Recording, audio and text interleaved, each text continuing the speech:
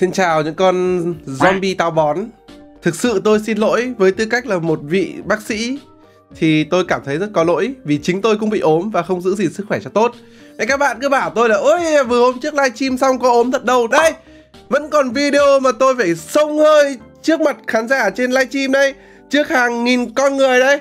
Nào Còn ai bảo tôi ốm giả được không? Nếu bây giờ các bạn vẫn bảo tôi ốm giả nữa thì thì kệ các bạn quay trở lại câu chuyện mình vô cùng thấy có lỗi vì để zombie táo bón suốt bao nhiêu ngày vừa qua. Theo như mình tìm hiểu chỉ còn 3 ván nữa thôi là chúng ta sẽ mở khóa hết những cái con ở cái phần đầu tiên của tựa game này. Còn uh, những cái con đặc biệt ở những cái phần chơi đặc biệt thì không nói nhá. Đây là những con ở phần đầu tiên thôi mà lại không làm nốt cho các bạn để các bạn xem để các bạn phải đợi cả tuần như thế. Nên là yeah hôm nay có lẽ sẽ là tập cuối của Plan vs Zombie lai tạo ở cái chế độ chơi cơ bản nhất còn nếu mà sau này các bạn muốn mình chơi full cả chế độ chơi đặc biệt mà nó sẽ rất khó nữa thì hãy để lại comment phía dưới và để lại một like. Còn thôi không mất nhiều thời gian các bạn nữa vì cũng mất nhiều thời gian quá rồi. Hãy cùng bắt đầu đấy, bảo tôi rồi rồi đi. Hãy cùng bắt đầu với Plan vs Zombie lai tạo tập cuối cùng ở chế độ chơi cốt truyện đầu tiên. Bắt đầu nha Và không để các bạn chờ lâu nữa Chúng ta hãy cùng bắt đầu với ván chơi ngày hôm nay Để xem có cái gì nào À đây con ngựa tôi nhớ rồi Đây là cái con nấm không đồng mà ngày trước tôi chê rẻ tiền và không có nhiều kỳ vọng cho lắm. Nên là, yeah. đây là cái map hoàn toàn mới các bạn ạ. Cái map này có gạch này, có nước này và chỉ có thế mà thôi. Thực ra là mình khá phục cái tác giả bản mod này tại vì họ chỉ còn ba ván nữa là kết thúc mà vẫn cố gắng để tạo thêm một cái map mới. Thực sự là rất là nể phục đấy, tốn công mà. Ok, hãy cùng sắp xếp đội hình đi. Rồi, mình nghĩ đội hình này là ok rồi. Mình không mang theo hướng dương, một lựa chọn có thể nó là hơi mạo hiểm, nhưng mình nghĩ là không sao, tại vì mấy ván này thường nó dễ thôi. Vậy là tôi có hướng dương vua chúa mà, đúng không? Vua chúa nó phải hơn thường dân chứ, đúng không? Nó phải đẳng cấp hơn. Tôi có xuất phát điểm là 500 đồng. Đây là cũng ok. Đây, các bạn thấy chưa? Còn nấm băng không đồng. Tôi khá chắc là con này có tác dụng là nó sẽ bắn được những cái con địch và khiến bọn nó bị đóng băng. Mặc dù là mình không biết là cái đam của nó là bao nhiêu, cái sức sát thương của nó lớn hay không, nhưng mà nó là không đồng nên là không cần biết. Ấy là Bọn quái đợt này nhá, nó có vịt để nó bơi các bạn ạ. Vãi cả trường diện tích nước là khá lớn. Đây để xem nào. Ờ đúng, nó có bắn ra băng thật các bạn đã con nấm mình bắn ra băng thật. Nhưng mà có một điều phải nói là bọn quái này nó có điều kiện, rất là có điều kiện luôn. Nó có vịt nó đi bơi, nó được tập bơi. Chứ ngày xưa hồi ngày mình bé, bố mình cho mình đi bơi bằng cách là nhúng mình xuống nước, cứ thả mình ở đấy. Rồi khi nào mình chơi với chơi với gần ngạt thì bố mình sẽ nhấc mình lên, giống như kiểu người ta rửa rau các bạn nhấp nhấp. Đấy, chỉ có thế mà thôi. Bọn này có điều kiện vãi nổi sung sướng kinh khủng. Này, có con vịt đeo caravat, lai tạo quái dị này. Các bạn thấy chưa? Ngày trước tôi gặp con này ở vùng đất axit rồi, tôi tưởng là do axit nó mới bị vậy. Nhưng không, các bạn ạ. Hóa ra đây là sở thích thú tính của nó. Nhìn kinh vãi nổi và sau khi nó chết đi, nó để lại một cái con vịt cao su nhá mình không nhớ là con vịt cao su này có tác dụng gì, nhưng mà nếu mình không nhầm thì nó có thể cản được đạn của mình đấy. Ờ đúng này các bạn thấy không? Cái đạn con đấm mình bắn ra không đến được. Đấy. Cũng mệt phết đấy. Phiền, nói chung là phiền. Các bạn ạ Để nó lại gần thì rất là phiền luôn. Nhưng không sao, mình sẽ không để nó lại gần đâu. Mình gần đủ tiền rồi. Đây, chuẩn bị hướng dương hoàng hậu. Ok, nhiệm vụ của mình bây giờ đó là trồng được một hàng hướng dương hoàng hậu Cho nó chất trời đã. Còn lại tính sau. Ê, ê Con này vừa teleport Vách cả trưởng có thấy không? Nó vừa teleport cái, con con con chèo thuyền đấy nó vừa teleport từ ở đằng sau cái con này người đằng trước. What the hell? Zombie bây giờ có một đặc trưng mới hay đây là bug game mình nghĩ là bug game chứ. Cái zombie nó teleport được vào nhà thì cả vãi cả trưởng có khi đêm nay lại hồi sinh ở dưới gầm giường cho mình ấy. Ở đây nó lại teleport kìa. Nó dùng gậy như ý của tôn ngộ không cơ đấy cái gì đấy? Dị vãi nồi tôi mới hiểu nhưng thôi, còn kệ nó. Đây, hướng dương hoàng hậu. Ngon rồi. Với ba con này tôi thừa sức để có thể chống lại mafia. Vừa nói đấy coi con vịt này, các bạn thấy không? Nó để lại rất nhiều những cái phao ở đây. Bây giờ có nhiều cái phao thế này rồi, tôi sợ là đạn của mình sẽ không thật được. Ôi thợ lặn nó chui được vào cả cái nền đá, vãi cả đá. mình nghĩ là mình vẫn giết nó thôi. Có khi nào, có khi nào nó giết được không? Để mình xem đặt cái gì. Không, vẫn giết được, vẫn giết được các bạn ạ. Nhưng mà kinh thật cái méo nào nó học cái lớp lặn ở thủy quân lục chiến à? Nó lặn ở cả dưới đất các bạn ạ. Kinh thật, manu gọi bằng cụ. Giờ quân nó bắt đầu có mấy con quỷ đỏ đấy. Nhìn cũng hơi ghê, nhìn cũng đáng sợ. Nhưng mà không sao, thêm hướng dương hoàng hậu vào thì mọi thứ sẽ là đơn giản mà thôi. Mình nghĩ là mình cần cho con nấm thôi miên ra. Đây có lẽ là giải pháp tình thế cuối cùng. Ui ta thấy tốn tiền quá. Nhưng con kia 520 lận, Từ từ, đợi có ít tiền. Đây đây đây đây đây đây đây đây. Nào cho đi, Ui bấm nhầm rồi. Thôi chết tôi rồi sức hoàng hậu ơi Ôi ôi không sao. Từ từ từ. Su su vua Su su vua. Đây rồi. Su su vua. Su su vua. Mày nhơn Mày nhơn Su su vua đã bảo vệ được hướng dư hoàng hậu thành công. Ngon rồi. Tôi đặt nhầm mấy quả thôi miên Thôi miên không được nhiều lắm các bạn ạ. Không thôi miên mấy con quỷ đỏ này. Đấy. Thôi không sao? Thắng thì vẫn thắng thôi nhưng mà Hơi phí tiền một tí. Tôi đã không có nhiều tiền rồi. Mà làm những hành động thế nó khá là bẩn mắt. Tôi xin lỗi các bạn. Thực sự là như vậy. Đây, nhìn này. Thủy quân lục chiến lại vào này. Hãy cùng xem xem nó vào đến đâu. Không, mình nghĩ là nó mất mũ hiểm rồi. Nó chết nhanh thôi. Để này hơi thừa nhỉ? Ờ kệ, không sao. Đợt đông thứ hai. Đây sẽ đợt đông nhất. Thắng được đợt này là mình sẽ thắng game. Thoải mái đi. Su su chơi hai con không? Chỉ một con và con kia mất mũ bảo hiểm. Thôi thế là cũng ngon rồi. Rất nhiều con quỷ đỏ, Đúng là cái đợt này đã không đáng ngoài hạng Anh có khác. Đến chiếm nhà mình các bạn ạ. Nhưng làm sao mà chiếm được? Tôi sẽ đưa nó về đúng cái hang động của nó. Đấy, vào đây. Vào đây nào, những nhà vô địch. Mình còn 1.000 tiền. Bây giờ cần 1.000 tiền để cho được cái con Hướng dương hoàng hậu cuối cùng ra Để tạo thành một hàng thì cho đẹp. Chắc là sẽ đủ sớm thôi. 780 này. 930 955 980 1000 đây ok ok ok. Ok đủ. Như vậy đủ một hàng rồi. Mình nghĩ là một hàng này xét về sát thương thì không thua kém bữa nào cả. Chắc chắn là thắng rồi. Bây giờ mình sẽ cho những cái gọi là nồi cơm điện. Nó là cái, cái cây bí ngô lửa các bạn là cái chậu. Đấy. Để mình có thể bảo vệ được mấy gốc cây lửa tại vì nãy giờ mình chết hơi nhiều có gốc cây lửa. Ai à nó có lính phản động. Ui may quá, giết được nó sớm. Con để bắn kinh vãi nồi. Ok, các bạn thấy không? Là nó có nhiều cái con cá heo, cá voi, mấy con lính của nó có thể bắn được. Nên là bây giờ mình sẽ cần thêm mấy cái gốc cây lửa băng, nhưng mà bảo vệ bởi con bí ngô lửa. Nghe nó hơi kiểu double trouble, nhưng mà thế là cũng ok thôi. À thêm hướng dương nữa này. Thêm một ít tiền nữa 175 đồng nữa để tôi thêm một gốc cây lửa nữa để bảo vệ nó. Các bạn thấy không? Rất nhiều con của nó có thể bắn được. Mình ghét cái điều đấy. Nào, nhanh nhanh. Thêm ít tiền đi. Đấy mục tiêu của mình lần này đó là nhà nào cũng có chậu. Người người có chậu, nhà nhà có chậu, không ai thiếu chậu. Tất cả đều có chậu, tất cả đều thấy tuyệt vời. Hy vọng là đủ thời gian, gần đến đợt cuối rồi. Chắc là còn một, hai đợt đông của đợt thứ hai nữa thôi. Chắc là đủ thôi các bạn ạ. Nào đây, thêm nữa. Cái chậu này hồi hơi lâu nhỉ? Thực sự là hồi hơi lâu. Liệu có khả năng nào mình sẽ kiếm được đủ hai hàng hướng dương vua chúa không? Vậy thế thì kinh lắm. Thế thì tiền không ở thiếu, thật sự ui đợt đông cuối rồi, chắc là không được hai hàng hướng dương rồi các bạn ạ. Hơi tiếc một tí. Nhưng mà liệu có khả năng nào tôi kiếm được tất cả cái hàng này đều có chậu hay không? Hy vọng là có tôi đừng giết nhanh quá. Tôi muốn là ít nhất nó phải có đủ chậu cho đẹp chứ. Nhưng đặt thêm bây giờ cần thiết hay không? Méo cần thiết các bạn ạ. Thôi xong ngựa rồi, đâu nữa mà thêm chậu. Ok. Như vậy là mình được ở đây cái gì đây? Cái này là một cái lá sen. Chậu lá sen mình khá chắc là như vậy để tôi tìm hiểu trên mạng xem là cái gì đã nhá. Ok, mình vừa tìm hiểu rồi. Nó là chậu lá sen thật các bạn ạ. Tức là nó có khả năng bảo vệ như một quả óc chó, nhưng nó lại là lá sen. Nó đắt hơn lá sen bình thường 25 đồng. Ấy từ từ. Ồ. Ván này lại không cho nó qua vạch rồi. Nhưng mà lần này cái vạch ở xa lắm. Ok, được rồi. Mình xếp đội hình rồi. Hy vọng là có thể ăn được. Đội hình này của mình thì mình có thể có chậu lá sen kia và mình thay bằng những cây nấm không đồng. Tại vì cái điểm khó khăn nhất của ván này đó là mình sẽ cần phải chuẩn bị đội hình sớm và cần phải chuẩn bị đội hình ít tiền nhất có thể để bảo vệ. Chứ còn nếu mà bây giờ rình rình ra những con đắt tiền ấy thì khó. Ok. Đấy, ui, chưa chi nó có con nít for speed vào rồi. Ui.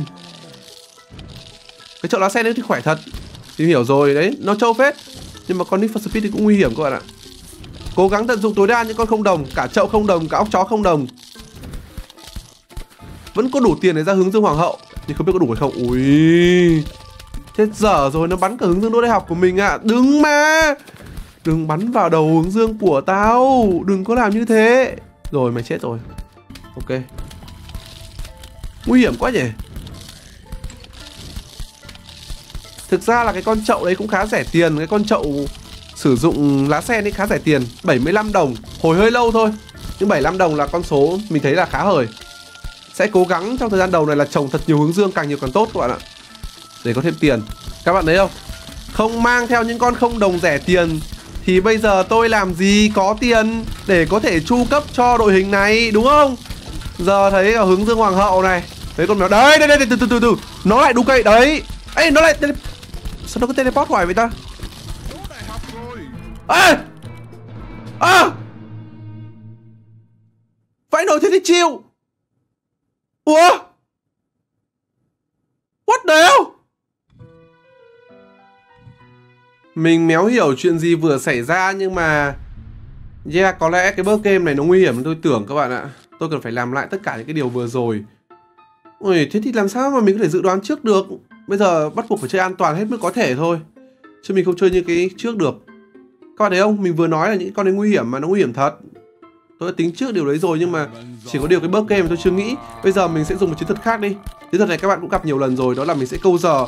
Thay vì là cho ra những cái con xịn sò luôn Thì mình sẽ dùng những con rẻ tiền Và sau đó mình câu cái thời gian Của nó ra quân để mình có thể trồng theo hướng dương. Hy vọng là chiến thuật này đủ tốt các bạn ạ. Hy vọng là như vậy. Ok. Hiện tại nó khá tốt. Đấy, mấy con đóng băng của mình khỏe phết đấy chứ Không đồng nhưng mà cũng được đấy. Rẻ tiền như vậy mà cũng giết được mấy con bình thường Ngon. Ok. Một hàng hướng dương này. Rồi giờ thêm mấy con mèo được rồi đấy Tại vì bọn nó cũng bắt đầu đến nguy hiểm rồi. Câu giờ như thế này thì Quân nó sẽ ra được chậm hơn Và mình sẽ có thêm nhiều thời gian để chuẩn bị hơn. Có lợi cho mình. Mấy cái hướng dương của mình sẽ có nhiều thời gian để đi học Và nó sẽ đỗ đạt sớm hơn. Đấy Ok. Ú đây đây đây đây đây đây đây, đây lại con nhảy lại con nhảy kìa. Đấy xem nó teleport đúng nhá. Ơ lần này lại không teleport nữa. Hay là nó chỉ teleport ở dưới nước thôi nhỉ? Chết rồi chết rồi chết rồi. Chết chết chết chết chết chết chết này. Từ từ từ từ từ từ từ từ từ. Rồi bây giờ mình mình mình phải nhổ nhổ nhổ nhổ nhổ nhổ nhổ. Ok ok. Này. Ui chết rồi cả dưới này nữa. Thôi hỏng tôi rồi. Đây con không đồng. Máy quá. Đấy cứ bảo không cần mấy con không đồng đi. Không không đồng làm sao sống được? Ơi dưới này. Ơi chết rồi thua rồi. Thua chắc rồi các bạn ạ. Ừ, ừ, từ, từ, đây này. Ơ à, vãi nồi! Cản bóng trên vạch vôi! What the hell? Tôi méo hiểu sao tôi vẫn sống nữa tôi tưởng tôi chết rồi. Uh, uh, ngàn cân treo sợi bún. Uh. Game này nó còn hơn ở game kinh dị nữa. Vãi cả trưởng kinh tế. Ôi May quá Sống rồi sống rồi Sống rồi tôi vẫn còn sống. À, Ok. Nào bây giờ mấy cái hướng dương của mình bắt đầu lớn rồi. Và mình cũng bắt đầu có thêm mấy con mèo xịn sò hơn. Thì hy vọng là với cái sự cải tiến này mình có thể thắng được, Hoặc ít nhất là mình đừng có xui xẻo quá. Kìa Kìa, nó còn bơi vào kìa. Thêm mấy con mèo nữa vào. Càng ngày chúng nó càng đông, Chúng nó càng nhiều, Chúng nó càng trở nên thiếu tôn trọng mình. Làm sao đây? Đúng thế nhở? Ok. Cảm giác như là mặc dù mình nhiều hướng dương thế, Nhưng mà chỗ này vẫn không đủ ấy. Cảm giác vẫn bị thiếu thiếu các bạn ạ. Đây. Thêm ít tiền nào, thêm ít tiền nào. Đóng băng, đóng băng, đóng băng cả lo cho nó Đóng băng, rồi mày quá. Mấy làm sao vẫn sống? Sợ vãi. Ok. Sợ thật. Đợt đầu tiên rồi có hai đợt đông thôi. Nhưng mà căng thẳng vãi nồi. Sáu con mèo. Tôi còn chưa dùng được bất cứ một con nào gọi là Hướng dương hoàng hậu, hoa hậu hay khỉ gió gì cả. Nãy tôi toàn dùng mèo các bạn ạ. Ok, đủ hai hàng, đủ KPI rồi. Đấy, đây, đây, đây, đây, đây, đây, con lại nhảy, con lại nhảy. Đừng teleport nữa, tao xin mày. Mày teleport nữa, tao chịu. Đừng teleport. Ở mày con được chết trước khi teleport được. Hú hồn, hú vía. Kiếp đạm Ok, thiếu cái lửa nữa nào. Ờ, tới này. Có con chuẩn bị vào kìa, có con nó chuẩn bị vào kìa. Nếu cần thiết mình có thể cho nó một phát đóng băng. Quỷ đỏ đến. Không sao, quân mình bây giờ có nhiều hơn ngày xưa rồi. Rồi, ok. Tổng cộng là 9 con mèo. Sức sát thương có thể nói là không hề tồi. Có lẽ tí có tiền mình sẽ cho mấy con. Đây đây đây ốc chó khổng lồ. Ốc chó khổng lồ này thì mấy con cá voi À cá heo nó không nhảy qua được. Và cả mấy con mà nó nhảy xa Nó cũng không nhảy qua được. Gần được cuối rồi hy vọng là có thể ăn được. Bây giờ mình chỉ cần không mắc sai lầm ngớ ngẩn nữa thôi là có thể nói ok. Tại vì bây giờ đôi hình của mình, hỏa lực của mình có thể nói là đủ Gọi là tạm đủ, tạm đủ các bạn ạ. Tạm đủ. Ở đông cuối các bạn ạ, các bạn bảo là Bây giờ mình kích chuột vào cái máy hút cỏ kia Thì mình có thể kích hoạt nó Mà mình không cần phải dùng đến đợi bọn nó vào bên trong. Không biết có được hay không? Cây thử thế nào. Có được đâu Các bạn lừa tôi. Méo kích hoạt được. Vãi trưởng như vậy là mấy cái máy hút cỏ trong trận này coi như là vô dụng rồi. Chả dùng gì thì chắc không sao đâu nhở, Chắc ăn được thôi. Ok, này. Su su khổng lồ này. Rồi, còn con cuối, Thắng rồi các bạn ạ. Oh. Trận này căng thẳng kinh dị vậy, Cái gì đây? Cái gì đây? Mèo hướng dương. Mèo hướng dương một sách. Ủa là sao? Con này có tác dụng gì vậy? Ok, thử xem nào. Nào đội hình của mình Có mèo hướng dương màu sách Các bạn đã hài lòng chưa? Hãy cùng bắt đầu. À, Không có cản trở gì Chắc là ván cuối sẽ dễ thôi. Hoặc là không Kiểu không đánh boss nhỉ? Chưa đi có đánh boss. Ê, hướng dương bình thường. Mèo hướng dương màu sách 150 đồng. Nó đắt hơn cái con hướng dương bình thường 50 đồng Nhưng nó có tác dụng gì? Thế nào. Bắn mặt trời à?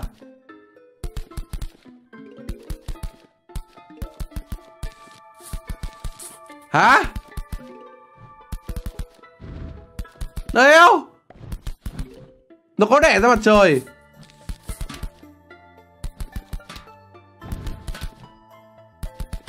Nó bắn cái viên mặt trời con con vào kẻ địch. Và rồi kẻ địch sẽ rơi ra một viên mặt trời con con.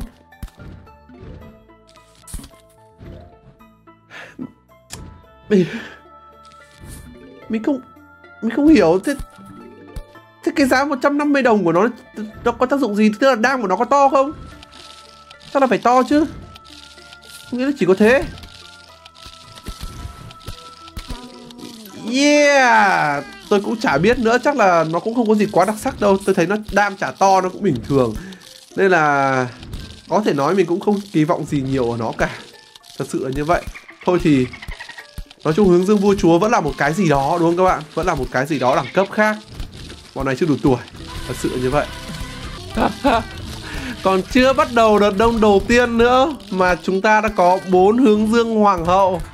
Nào Làm sao Lại bảo không nhiều tiền nữa đi?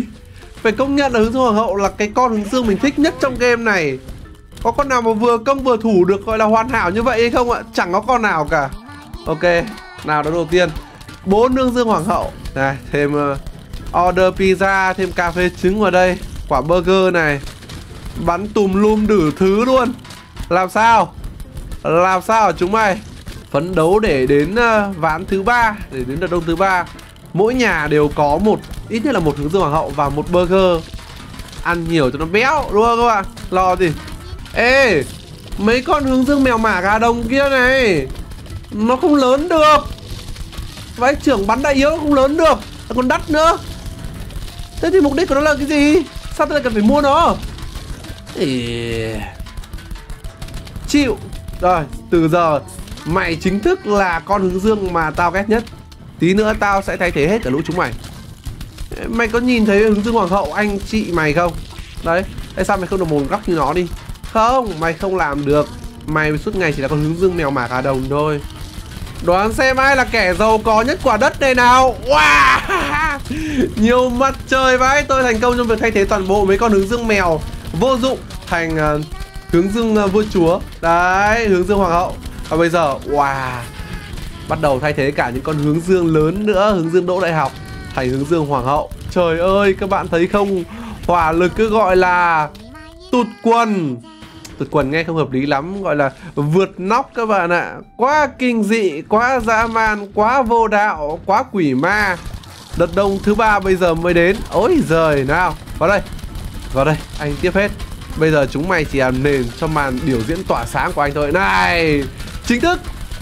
6 burger 6 burger. Thưa quý các vị.